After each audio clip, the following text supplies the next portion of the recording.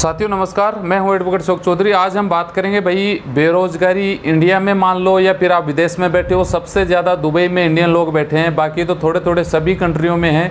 India में population India की ज़्यादा होने की वजह से जो ऑनलाइन रजिस्ट्रेशन हुए थे, दो लाख फॉर्म भरे गए थे लगभग एक हफ़्ते के अंदर। तो उस हिसाब से आंकड़ा जो निकल के सामने है चालीस लोगों के पास जॉब नहीं होने का रीज़न दिया गया। और ये सत्य बात भी है साथियों की जॉब दुबई में, गल्फ में तो क्या भाई वो तो अच्छी कंट्री है, फिर भी तो फिर भी इतना नहीं है वहाँ पे। इंडिया की हम बात करें तो इंडिया की हालत उनसे भी ज़्यादा ख़राब है। तो आगे बढ़ने से पहले मैं चाहूँगा इंडिया में साथियों, कोरोना की अपडेट में आपको बता दूँ। हालाँकि आपको पता ही होगा, आज तक की बात करें 17 मई तक के जो आंकड़े हैं, इक्यानवे हज़ार नाइन्टी वन थाउज़ेंड तक अभी आंकड़े पहुँच चुके हैं कोरोना संक्रमित में। उनमें बात करें, जो कोरोना से रिकवर कर लिए गए हैं, वो है चौंतीस हज़ार अभी तक बंदों को रिकवर कर लिया गया लगभग तीन हज़ार उनतीस सौ के करीब डेथ हो चुकी हैं। तो ये मान के चलें कि इंडिया ने चाइना को पिछाड़ दिया। भाई इंडिया इसी टाइम इतने ही टाइम में चाइना में लगभग सत्तर हज़ार के करीब केस थे और इंडिया में लगभग इक्यानवे हज़ार केस से ऊपर हो चुके हैं।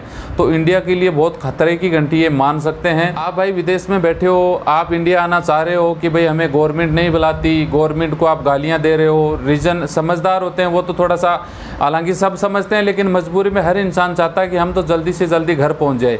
लेकिन भाई इंडिया की सच्चाई ये है कि अभी दो दिन पहले की रिपोर्ट में बता दूँ, सुप्रीम कोर्ट ने केंद्र सरकार से पूछा कि कितने मजदूरों को आपने घर पहुँचाया?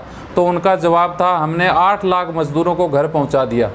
ठीक है, मजदूर का मतलब विदेश में काम करते हैं, वो भी मजदूर हैं, इंडिया में काम कर रहे हैं, वो भी मजदूर हैं। ये बात थी इंडिया लेवल की।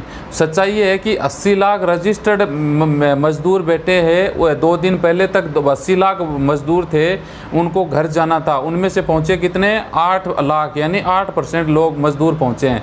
तो आप ये थोड़ा सा अंदाज़ लगाइए कि जब इंडिया की हालात ये है, चलो विदेश वाले तो अपना टिकट का पैसा दे रहे हैं, क्वारंटाइन का खर्चा दे रहे हैं, फिर भी वो नहीं आ पा रहे हैं।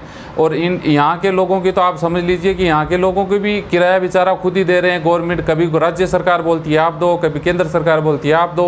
तो मतलब एक पंगा सा हो रहा है। विदेश वाले में तो कोई झंझट ही नहीं है, पूरा खर्चा वो दे रहे हैं, फिर भी उनको लेके नहीं आ रहा जा रहा है। और जॉब की अगर बात करें तो 40 परसेंट जॉब अभी दुबई में बात करें तो 40 परसेंट वर्करों के पास जॉब नहीं है। मेरे पास जो आंकड़े निकल के आए हैं, मैं आप लोगों के साथ शेयर कर दूँ। सौ में से सैंतीस कंपनियाँ ऐसी हैं जो अपने अपने कारीगरों को अपने वर्करों को, अपने मजदूरों को अनपेड लीव पे भेज रही है। यानी हम आपको सैलरी नहीं देंगे, आप छुट्टी जा सकते हैं। 100 में से सैंतीस प्रतिशत, यानी चालीस परसेंट के करीब आप मान सकते हैं, जो बोलती है, धक्का दे दिया, बोले, आप अपने घर जाओ, हमारे पास कुछ नहीं है, जब सही होगा तो आप आ जाना। 100 में से बीस परसेंट कंपनियाँ ऐसी हैं जो आपको सैलरी रोक रखी है कि हम आपको छः महीने तक तनख्वाह नहीं देंगे, तीन महीने तक तनख्वाह नहीं देंगे, चार महीने तक तनख्वाह नहीं देंगे, यानी दो, चार चार छः महीने तक आपको सैलरी नहीं देंगे जब तक ये सिस्टम रूटीन में नहीं आ जाता। उसमें 20 परसेंट कंपनियाँ हैं। चलो, ये भी ठीक है कि भाई चलो, दो, चार महीने तो आदमी सहन भी कर लेता है। चौबीस परसेंट कंपनियाँ साथियों ऐसी हैं जिन्होंने जॉब से ही निकाल दिया वर्कर्स को कि भाई आप अपने घर जाओ, हमारे पास जॉब नहीं है। चौबीस परसेंट, सौ में से चौबीस परसेंट कंपनियाँ ऐसी निकली हैं। तो उसमें आपसे एक बात कहना चाह रहा हूँ कि बहुत सारी कंपनियाँ ऐसी हैं जो अनपीड लेव पे भेज रही हैं, हमारे पास सैलरी नहीं है, हम आपको आगे दे देंगे। तो आप उनसे रिक्वेस्ट कर सकते हो कि आप इंस्टॉलमेंट में सैलरी दे सकते हो। कई कंपनियों ने ऐसा ऑप्शन करा कि भाई क्योंकि गवर्नमेंट का दबाव पड़ता है ना कि भाई इनको तनख्वाह दो तो वो बोलते हैं कि हमारे पास सैलरी नहीं है या इंस्टॉलमेंट में ले लीजिए, जैसे आपकी दो हज़ार सैलरी है तो आप सात सौ, आठ सौ रुपये महीना लेके उसको आगे तक खींच के लेके जा सकते हो। ये रिक्वेस्ट आप कंपनी के साथ कर सकते हो यार, बिल्कुल बिल्कुल ज़ीरो से तो बढ़िया है कि इंस्टॉलमेंट में मिल जाए, वो भी बहुत अच्छी है। ये ऑप्शन आप अपना सकते हो, हालाँकि ये सब लोगों पर लागू नहीं होता और कंपनियाँ भाई नहीं कहना मानती है। सुनने में मेरे पास एक न्यूज़ आई थी साथियों की, दुबई में आपको पता है भाई, जो हाई लेवल के जॉब हैं, वो बेचारे फ्लैट लेके रहते थे, अभी उनकी स्थिति तीन महीने से ये हो गई कि कंपनी ने निकाल दिया कि घर जाओ, या फिर जॉब से निकाल दिया।